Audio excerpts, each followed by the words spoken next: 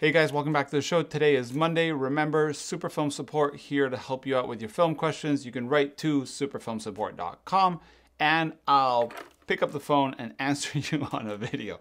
This is super silly after three. Um, so today we have a question from Ted who's asking me, I have a Wista DX camera and I wondered why the hole on the lens board Copal Zero was offset in a lower than center position. This is disadvantage when I start using rising front, especially with a wide angle lens. There are of course no back bellows.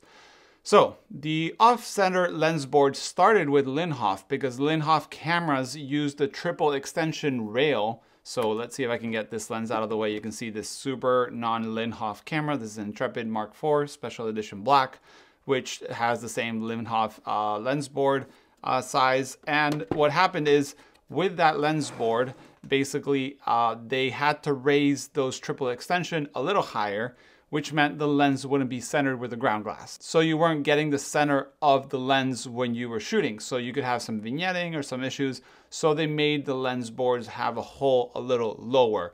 What happens is a lot of other manufacturers maybe copied the design for Linhof use, but maybe on not on their cameras.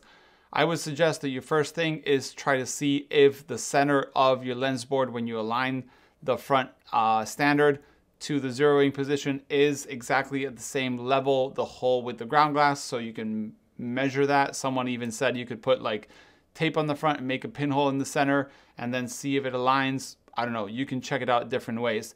But if your lens board is centered with the glass, that's where it should be. If it's not, maybe you can also purchase. They sell lens boards on eBay for pennies and I'll leave a link below to the ones I usually use. They're very inexpensive. They come from China. They're not maybe the best, but they work fine. Uh, actually, this is a Chamonix one, which comes from China, but it's pretty nice. But do remember, do mind that the Chamonix ones don't come with a little indentation on the back, on the bottom, and don't work on certain cameras. So I had to make this with a Dremel little, you know, Dremel.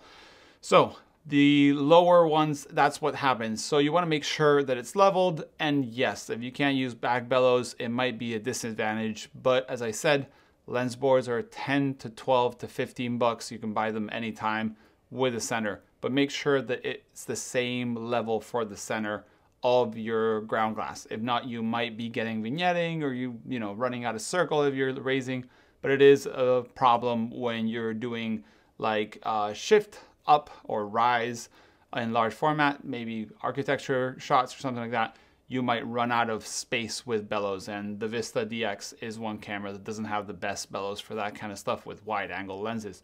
So yeah, Ted, that's the reasoning. I did Google this because I had heard about it, but I didn't know the official answer. If someone knows better than me about the Linhof reasoning, I might be 100% wrong. Do remember the Superfilm support is me trying to answer your film questions. Not every time I know the exact answer, and I love reading your comments. So feel free to go down to the comments. Let me know if I'm totally wrong. Let Ted know exactly what could be right. I'm always open. This channel is for me and for you guys to collaborate as a community, talk, and answer each other. So yeah, that's Superfilm support. Do remember this, it works thanks to Patreons or donations. I'll leave the link below to patreon.com slash Nico's Photography Show. And yeah, send your film questions and I'll be happy to try to answer them here live on, well, semi-live on Mondays. Thanks for watching, guys. See you in the next one. Bye.